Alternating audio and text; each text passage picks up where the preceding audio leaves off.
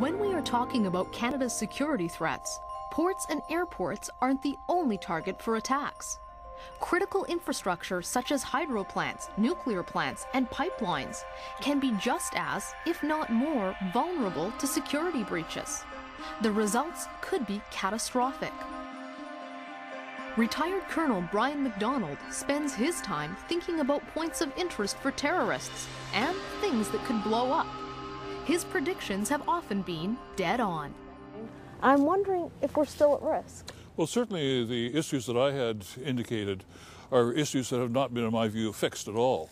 I was really looking at the natural gas pipelines that go across the border between Canada and the United States, which supply something in the order of about uh, 100% of the natural gas consumption in the American Northwest and about uh, half or so in uh, California.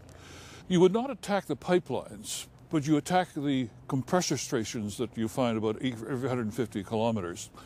And I looked at the possibility of taking the Timothy McVeigh fertilizer bomb technology, which of course took down that courthouse in uh, Oklahoma City, and said to myself, if you took a prairie grain truck, a seven ton truck, and you took a mixture of fertilizer and diesel, which is what McVeigh did, you then put that into this truck, run it at one of these compressor station buildings, and blow it and at that point, you effectively turn out the lights on the entirety of the west coast of the United States.